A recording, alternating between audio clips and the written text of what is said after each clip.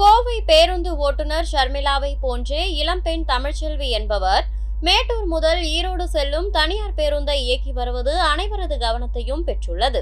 சேலம் மாவட்டம் ஓமலூரைச் சேர்ந்த மணி என்பவர் கால்நடை விற்பனை மற்றும் சொந்தமாக லாரி வைத்து ஓட்டி வருகிறார். இவரது மகள் தமிழ்ச்செல்வி சிறு வயது முதலே தந்தையுடன் லாரியில் பயணம் செய்து அதனை இயக்கவும் கற்றுக்கொண்டார். பின்பு லாரியை இயக்க முறையாக பயிற்சி பெற்று கனரக ஓட்டுநர் உரிமம் பெற்றார் தமிழ்ச்செல்வி.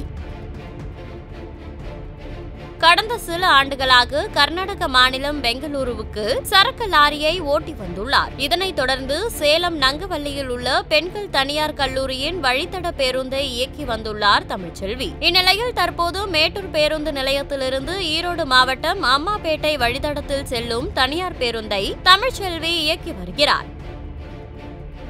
இந்நிலையில் இது தொடர்பாக செய்தியாளர்களிடம் பேசிய ஓட்டுநர் தமிழ்ச்செல்வி நீண்ட நாட்களாக கனரக வாகனங்களை இயக்க வேண்டும் என்பது ஆசையாக இருந்ததாக தெரிவித்தார். மேலும் அரசு பேருந்து ஓட்டுநர் பணிக்கு முயற்சி செய்வதாகவும் தமிழ்ச்செல்வி கூறியுள்ளார். கோவை ஷர்மிளாவை போன்றே தமிழ்ச்செல்வியும் கடந்த சில ஆண்டுகளாக பேருந்தை இயக்கி வந்த நிலையில் அவர் மீது மீடியா வெளிச்சம் படாததால் அவரை பெரிதாக யாரும் கண்டுகொள்ளவில்லை. தற்போது ஷர்மிளா குறித்து அதிகம் பேசப்படும் நிலையில் ஓட்டுநர் தமிழ்ச்செல்வியின் திரைப்படங்கள் வெளியாகியுள்ளன. செய்திகளை உள்ளது உள்ளபடி தெரிந்து கொள்ள ரெஃப்ளெக்ட் நியூஸை சப்ஸ்கிரைப் பண்ணுங்க.